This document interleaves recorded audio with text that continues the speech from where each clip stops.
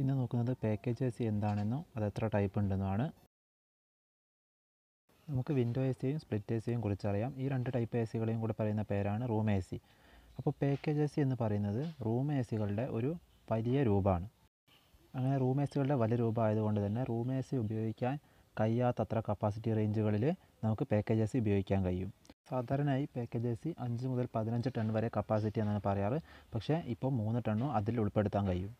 അപ്പോൾ പാക്കേജസ് കിട്ടുന്ന അളവുകൾ കപ്പാസിറ്റി എന്ന് പറഞ്ഞാൽ മൂന്ന് ടണ്ണ് അഞ്ച് ടണ്ണ് ഏഴ് ടണ്ണ് പത്ത് ടണ്ണ് പതിനഞ്ച് ടണ്ണ് ഇതൊക്കെയാണ് സാധാരണയായി നമുക്ക് ലഭിക്കുന്ന കപ്പാസിറ്റി പാക്കേജസുകൾ ഒരു സാധാരണ ചെറിയ റൂം എ സിയിലുള്ള എല്ലാ കമ്പോണൻസും നമ്മുടെ ഈ പാക്കേജസിനകത്തുണ്ട് അത് ഏതൊക്കെയാണെന്ന് വെച്ചാൽ എയർ ഫിൽറ്ററിങ്ങിനുള്ള ഒരു air filter cooling coil moisture add ചെയ്യാനോ അല്ലെങ്കിൽ റിമൂവ് ചെയ്യാനോ ഉള്ള ഡിവൈസ് പിന്നെ എയറിനെ വെലോസിറ്റി കൺട്രോൾ ചെയ്യാനുള്ള ഡിവൈസുകളും ഒരു പാക്കേജ് എ സി ഫാക്ടറിയിൽ അസംബിൾ ചെയ്തിട്ടാണ് നമുക്ക് ലഭിക്കുക. ഇതിനകത്ത് ഹീറ്റ് ചെയ്യാനുള്ളതും മോയ്സ്ചർ ആഡ് ചെയ്യാനുള്ള ഡിവൈസുകളും ഓൾറെഡി ഫിറ്റ് ചെയ്തിട്ടുണ്ടാവും.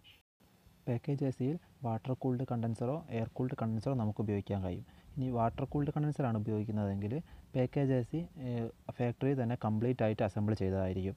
അസംബിൾ ചെയ്തത് കൂടാതെ അതിനകത്ത് ഗ്യാസും ഓൾറെഡി ചാർജ് ചെയ്തിട്ടുണ്ടാവും. ഇതുകൊണ്ട് തന്നെ നമുക്ക് സൈറ്റിൽ കൊണ്ടുവന്ന് കഴിഞ്ഞതിന് ശേഷം പാക്കേജ് എ സിനകത്ത് എക്സ്ട്രാ വാട്ടർ കൂൾഡ് ആകുമ്പോൾ എക്സ്ട്രാ പാക്ക് എക്സ്ട്രാ പൈപ്പിങ്ങോ ഗ്യാസ് ചാർജോ അല്ലെങ്കിൽ വാക്വമൈസേഷനോ ലീക്ക് ടെസ്റ്റിങ്ങോ ഒന്നും ചെയ്യേണ്ട ആവശ്യമില്ല. ഇതൊക്കെ ഓൾറെഡി സെറ്റ് ചെയ്ത് ആയിരിക്കും ഫാക്ടറിയിൽ നിന്ന് നമുക്ക് കിട്ടുക.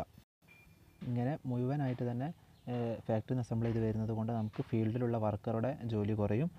കൂടാതെ സിസ്റ്റം ഫുൾ അസംബിൾ ചെയ്ത് കഴിഞ്ഞ സിസ്റ്റം ആയതുകൊണ്ട് അത് നല്ല വൃത്തിയിൽ ലഭിക്കുകയും ചെയ്യും. പിന്നെ ഇതിനകത്ത് കമ്പനി എന്ത് പെർഫോമൻസ് ആണോ പറയുന്നത് അത് സ്ട്രിക്റ്റായിട്ട് ഫോളോ ചെയ്യാനും കഴിയും. വാട്ടർ കൂൾഡ് കണ്ടൻസർ എന്ന് പറയുമ്പോൾ ഓർക്കേണ്ടത് ഷെല്ലൻ ട്യൂബ് കണ്ടൻസറാണ് പാക്കേജിനകത്ത് ഉപയോഗിക്കുന്നത്. രണ്ടാമത് നോക്കുന്നത് air cooled condenser. Condenser air cooled ആയതുകൊണ്ട് ഇത് ഫാക്ടറിയിൽ നിന്ന് അസംബിൾ ചെയ്തോ ഗ്യാസ് ചാർജ് ചെയ്തോ കൊണ്ടുവരാൻ സാധിക്കില്ല. അതുകൊണ്ട് തന്നെ നമ്മൾ ഏത് സൈറ്റിലാണ് വർക്ക് ചെയ്യുന്നത് അവിടെ എത്തിയതിന് ശേഷം ഇൻഡോർ യൂണിറ്റും ഔട്ട്ഡോർ യൂണിറ്റും തമ്മിൽ പൈപ്പിംഗ് ചെയ്യണം പ്രഷർ ടെസ്റ്റ് നടത്തണം ഗ്യാസ് ചാർജിങ് ചെയ്യണം ഇതൊക്കെ നമ്മൾ മാനുവലായിട്ട് ചെയ്യേണ്ട ആവശ്യമുണ്ട്. വാട്ടർ കൂൾഡ് കണ്ടൻസറിന് പകരം എയർ കൂൾഡ് ഉപയോഗിക്കുന്നത് കൂൾ ചെയ്യാൻ വെള്ളം കിട്ടാത്ത വെള്ളത്തിന് ബുദ്ധിമുട്ടുള്ള സ്ഥലങ്ങളിലോ അല്ലെങ്കിൽ ഉപയോഗിച്ച് കഴിഞ്ഞാൽ വെള്ളം ഡിസ്പോസ് ചെയ്യാൻ ബുദ്ധിമുട്ടുള്ള സ്ഥലങ്ങളിലോ ഒക്കെയാണ് ഇത് എയർ കൂൾഡ് കണ്ടൻസർ ഉപയോഗിക്കുന്ന പാക്കേജസ് കൂടുതൽ പ്രിഫർ ചെയ്യുന്നത്. ഈ എയർ കൂൾഡ് കണ്ടൻസർ ഉപയോഗിക്കുന്ന പാക്കേജിലെ കപ്പാസിറ്റി എന്ന് പറയുന്നത് വാട്ടർ കൂൾഡ് കണ്ടൻസർ ഉപയോഗിക്കുന്ന പാക്കേജസേക്കാളും കുറവായിരിക്കും. ഒരേ കംപ്രസർ ഉപയോഗിക്കുന്ന സിസ്റ്റങ്ങളിൽ ഇനി വാട്ടർ കൂൾഡ് കണ്ടൻസറോ എയർ കൂൾഡ് കണ്ടൻസറോ ഏത് ഉപയോഗിച്ചാലും ഇവാപ്പറേറ്ററിന്റെ സൈഡ് നോക്കുമ്പോൾ അവിടെ ഉപയോഗിക്കുന്ന ഫാൻ എന്ന് പറയുന്നത് സെൻട്രിഫ്യൂഗൽ ഫാൻ ആയിരിക്കും. സെൻട്രിഫ്യൂഗൽ ഫാൻ ആയതുകൊണ്ട് തന്നെ ഇവിടെ ഹൈ സ്റ്റാറ്റിക് പ്രഷർ പ്രൊഡ്യൂസ് ചെയ്യാൻ കഴിയും. അതുകൊണ്ട് നമുക്ക് ഡക്റ്റും ഗ്രില്ലും നേരിട്ട് ഈ ഒരു സിസ്റ്റത്തിലേക്ക് കണക്ട് ചെയ്യാൻ കഴിയുന്നതാണ്. ഒരു സാധാരണ പാക്കേജസിൽ നിന്ന് മുന്നൂറ്റി അൻപത് മുതൽ നാനൂറ് സി എഫ് എം വരെയാണ് ഒരു ടണ്ണിന് ടണ്ണിന് എന്ന കണക്കിന് എയർ പുറന്തള്ളുന്നത്. അതായത് എയർ സപ്ലൈ ചെയ്യുന്നത്. ഈ കമ്പ്യൂട്ടർ റൂമുകൾ ടെലിഫോൺ എക്സ്ചേഞ്ച് പിന്നെ ഈ ഇലക്ട്രോണിക് ഡിവൈസ് ഉണ്ടാക്കുന്ന സ്ഥലങ്ങളിൽ പോലുള്ള സ്ഥലങ്ങളിൽ ഹീറ്റ് ലോഡ് കൂടുതലായിരിക്കും. അത്തരം സ്ഥലങ്ങളിൽ നമുക്ക് അഞ്ഞൂറ് മുതൽ അഞ്ഞൂറ്റൻപത് സി എഫ് എം വരെ ഒരു ടണ്ണിന് എന്ന കണക്കിന് എയർ സപ്ലൈ ചെയ്യേണ്ട ആവശ്യമുണ്ട്. അപ്പോൾ അത്തരം സാഹചര്യങ്ങളിൽ ഹൈ കപ്പാസിറ്റി ഫാന് പാക്കേജിനകത്ത് ഉപയോഗിക്കേണ്ടി വരും. അതുപോലെ ചില കമ്പ്യൂട്ടർ റൂമുകളിലും ടെലിഫോൺ എക്സ്ചേഞ്ചുകളിലും പിന്നെ ഈ ഇലക്ട്രോണിക് ഡിവൈസുകൾ ഉണ്ടാക്കുന്ന സ്ഥലങ്ങളിലും ക്ലീൻ റൂം ആപ്ലിക്കേഷൻസിൽ എയറിന്റെ സപ്ലൈ താഴെ നിന്ന് കൊടുക്കണം. അതെന്തിനാണെന്ന് വെച്ചാൽ അതിലുണ്ടാകുന്ന ഹീറ്റ് പെട്ടെന്ന് പുറന്തള്ളാൻ താഴെ നിന്ന് കൊടുക്കേണ്ട ആവശ്യം വരും. അങ്ങനെയുള്ള സാഹചര്യങ്ങളിൽ എന്ത് ചെയ്യും? നമ്മൾ ഫാൾസ് സീലിങ്ങിന് മുകളിൽ ഡക്റ്റ് കൊടുക്കുന്നത് പോലെ ഫ്ലോറിനടിയിൽ ഒരു ഫ്ലോർ പ്ലീനും വെച്ചാണ് എയർ സപ്ലൈ ചെയ്യുക അങ്ങനെ എയർ സപ്ലൈ ചെയ്യുമ്പോൾ ഇതിന്റെ മുകളിലേക്ക് ഡക്റ്റിന്റെ മുകളിലേക്ക് അതായത് പ്ലീനത്തിന് മുകളിലേക്ക് നേരിട്ടോ അല്ലെങ്കിൽ ഒരു എക്സ്ട്രാ കുറച്ച് ഡക്റ്റ് പുറത്തേക്ക് എടുത്തിട്ടോ അവിടെ ഗ്രില്ല് ഫിക്സ് ചെയ്യുകയാണ് ചെയ്യുന്നത്. ഇത്തരം ആവശ്യങ്ങൾക്ക് ഉപയോഗിക്കുന്ന പാക്കേജിനകത്ത് ഡൗൺവേർഡ് ഡിസ്ചാർജ് കോൺഫിഗറേഷൻ വരുന്ന പാക്കേജസ് ഉപയോഗിക്കുന്നതായിരിക്കും സ്യൂട്ടബിൾ ആയിരിക്കും. ഡൗൺ ഡൗൺവേർഡ് ഡിസ്ചാർജ് കോൺഫിഗറേഷൻ എന്ന് പറയുന്നത് നേരത്തെ കണ്ട ചിത്രത്തെ കണ്ടിട്ടുണ്ടാവും. ഫാൻ കമ്പാർട്ട്മെന്റ് വരുന്നത് പാക്കേജിലെ ടോപ്പ് ടോപ്പിലാണ് അതിന് ഓപ്പോസിറ്റായിട്ട് ആ ഫാൻ കമ്പാർട്ട്മെന്റ് ഫാനും ബ്ലോവറും എല്ലാം വരുന്ന താഴെ കമ്പാർട്ട്മെന്റ് പാക്കേജിയുടെ താഴെ ഭാഗത്ത് ഫിറ്റ് ചെയ്ത് കഴിഞ്ഞാൽ അതായിരിക്കും ഇത്തരം സാഹചര്യങ്ങളിൽ സ്യൂട്ടബിൾ ആയിരിക്കുക.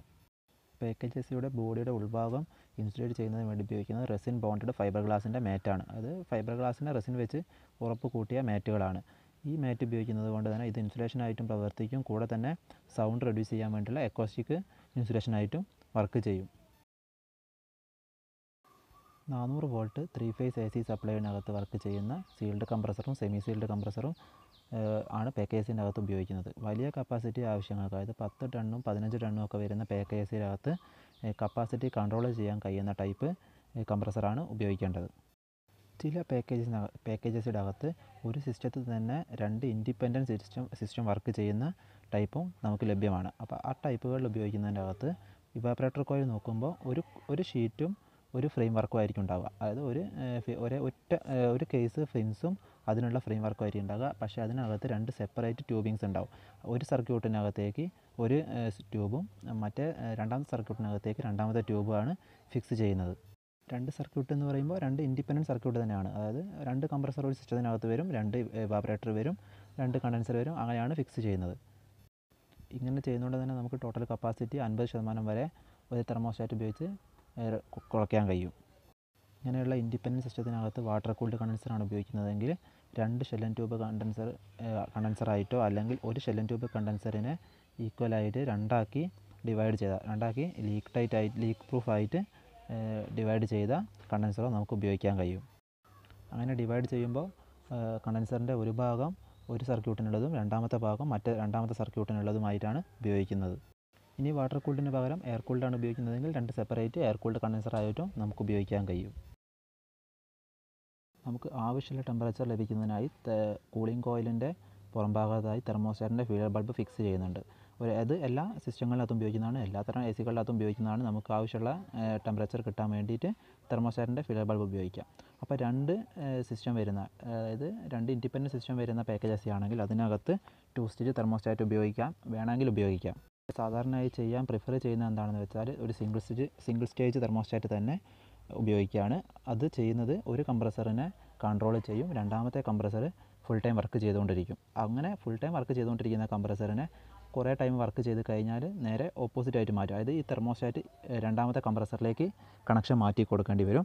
അതെന്തിനാണെന്ന് വെച്ചാൽ ഒരു തെർമോ ഒരു കംപ്രസർ തന്നെ ഫുൾ ടൈം വർക്ക് ചെയ്തുകൊണ്ടിരുന്നാൽ അവിടെ വിയർ ആൻഡ് കൂടും. അങ്ങനെ ഈക്വലായിട്ട് ഒന്നിനെ വർക്ക് ചെയ്യുക മറ്റതിനെ കൺട്രോൾ ചെയ്യുക. കുറച്ച് സമയം കഴിഞ്ഞ് ഇതുവരെ വർക്ക് ചെയ്തതിനെ കൺട്രോൾ ചെയ്യുക. രണ്ടാമത് വർക്ക് ചെയ്യാതിരുന്നതിനെ ഫുൾ ടൈം വർക്ക് ചെയ്യുക ഇങ്ങനെ ഒരു തെർമോസ്റ്റാറ്റ് ഉപയോഗിച്ച് മാറി മാറി കൺട്രോൾ ചെയ്യുന്നത് കൊണ്ട് നമുക്ക് ഈ കംപ്രസറുകളുടെ വർക്കിംഗ് ടൈം കൂട്ടാൻ കഴിയും.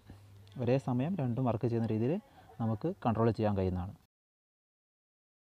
അവസാനമായിട്ട് നോക്കുന്നത് പാക്കേജസ് ഇൻസ്റ്റാൾ ചെയ്യുന്ന കാര്യങ്ങളാണ്. ഒരു പാക്കേജിനകത്ത് ഉപയോഗിക്കുന്ന ഫാൻ ഫോർവേഡ് കൗഡ് ഫാനാണ് പിന്നെ ഇത് ഇൻസ്റ്റാൾ ചെയ്യുമ്പോൾ പാക്കേജിന്റെ വിഡ്ത്ത് കുറവാണ്. വിടുത്ത് കുറവ് ലെങ്ത്ത് ലെങ്ത്തിൽ മാറ്റം വരുത്തിയാണ് ഉണ്ടാക്കുന്നത്. അപ്പോൾ വിടുത്ത് കുറവായതുകൊണ്ട് ഇത് ഫ്ലോർ ഏരിയ കുറച്ച് മാത്രമേ യൂസ് ചെയ്യുന്നുള്ളൂ. അതുകൊണ്ട് കുറഞ്ഞ ഏരിയയിൽ കൂടുതൽ ഫ്ലോർ ഏരിയ കൂൾ ചെയ്യാൻ കണ്ടീഷൻ ചെയ്യാൻ വേണ്ടി നമുക്ക് പാക്കേജസിനെ ഉപയോഗിക്കാം ഉപയോഗിക്കാൻ കഴിയും. പാക്കേജസിന്റെ വിടുത്ത് കുറവാണെന്ന് പറഞ്ഞു കഴിഞ്ഞു. അതുകൊണ്ട് തന്നെ ഇതിനകത്തേക്ക് വരുന്ന എയറിന്റെ അളവ് കുറവായിരിക്കും. അപ്പോൾ കൂടുതൽ വെലോസിറ്റി കിട്ടാൻ വേണ്ടി ഫാന് കൂടുതൽ വർക്ക് ചെയ്യുമ്പോൾ കൂടുതൽ നോയിസും നമുക്ക് കിട്ടുന്ന എയറിന്റെ ക്വാണ്ടിറ്റി കുറയുകയും ചെയ്യും. അപ്പോൾ ഈ പ്രോബ്ലം ഒഴിവാക്കാൻ വേണ്ടി നമ്മൾ ഇൻസ്റ്റാൾ ചെയ്യുമ്പോൾ എയറിന്റെ ഇൻടേക്ക് ഏരിയ കൂട്ടുന്നതായിട്ട് ശ്രദ്ധിക്കണം. അതായത് കറക്റ്റ് എയർ അതിനകത്തേക്ക് പാസ് ചെയ്യുന്നുണ്ടെന്നുള്ളത് നമ്മൾ ഉറപ്പിക്കേണ്ട ആവശ്യമുണ്ട്.